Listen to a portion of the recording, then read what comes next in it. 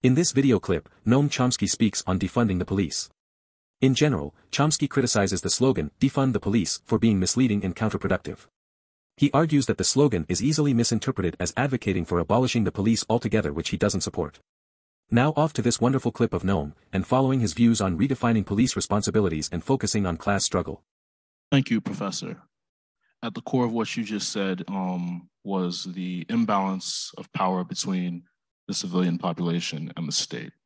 And we've seen some of the most uh, disgusting and brutal uses of state violence against minority populations, specifically here in the United States. Um, after the uh, murder of Tyre Nichols in January, there were many protests in the United States demanding justice related to police brutality, as well as accountability for those responsible for those crimes. Um, you've written before about your libertarian socialist leanings, but how exactly does that relate um, to your perspective on this new abolition movement, the defunding of the police, the potential abolition of the police, and things within that sphere? Well, let's take the idea of defunding the police.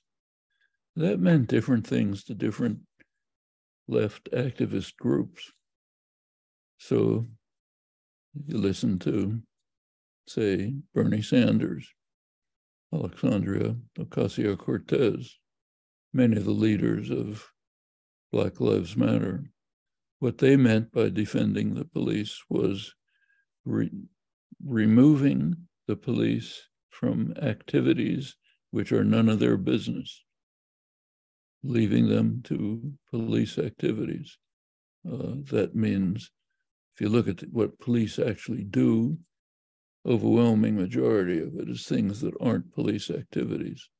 Uh, domestic problems, uh, overdoses, uh, uh, all sorts of uh, things where you, the community community activism and involvement should be directly responsible. Police have no business there. So that's defunding the police.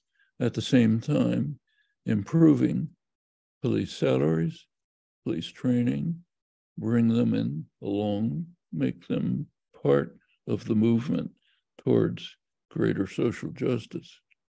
That's one interpretation of defund the police, and I think the right one. And if that can be, of course, the uh, the idea that you just eliminate the police is strongly opposed, particularly in minority communities, black communities that crime were, were communities that are what are called crimogenic, uh, designed uh, socially and uh, economically so that crime is one of the only ways to survive. In those communities, in the short term, they want police. Better than that, they want to eliminate the crimogenic aspects of the communities. Well, all of these things uh, can should fall together in a, I think, constructive, progressive form of revising, reshaping uh, security systems so that they're more they're popularly controlled and direct to the kind of things that are of concern to people in the communities, not involved in things which involve which require uh, different kinds of uh, engagement and involvement, things ranging from mental health to domestic problems to uh, uh, alcoholism, other things. That's not, none of that has to do with the police. Well, that requires major social changes. The United States, we have an enormous problem, enormous problem of lack of care for uh, people with one or another form of problem in their lives. Could be uh, uh, enormous poverty. It shouldn't exist in the richest country in the world. Uh, problems of uh, depression. Uh, we have a country which is under such extreme uh, social collapse that it's even, as you know, has an increase in mortality. That just doesn't happen among uh, societies, except in times of uh, war or pestilence. In the United States, it happens in peacetime and great prosperity, actual decline in, mor- in, in mortality, mostly among white working class um, age, age, working class ages of mostly white males, not all males. That's a indication of social decay of extreme of extreme nature.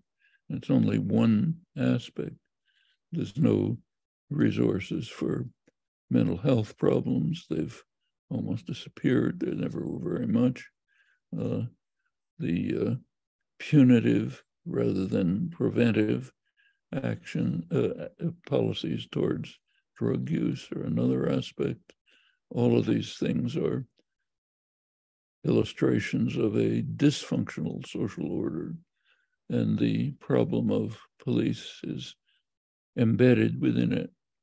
The whole, uh, the roots of the whole social disorder have to be dealt with before you can have a constructive, sensible discussion about the nature of whatever security is needed for the benefit of the community.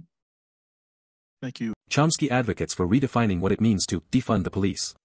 He suggests reallocating resources away from tasks police shouldn't handle, like mental health issues or domestic disputes, and towards community services better equipped to address these issues. This, he argues, would free up police resources for actual crime prevention and investigation. Ultimately, Chomsky argues that focusing solely on police reform is insufficient. He sees the issue of police brutality as deeply rooted in systemic problems like inequality and class struggle. He believes addressing these underlying issues is crucial for achieving lasting change. Therefore, while Chomsky doesn't endorse the literal meaning of defunding the police, he supports the underlying goals of reforming police practices and reallocating resources towards community-based solutions.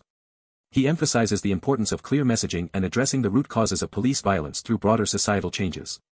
Well, I hope you liked the video and give the channel a subscribe. If you wish to join the channel, it's 99 cents a month, the donation would be appreciated and help out the content. Thank you, now take care and bye bye.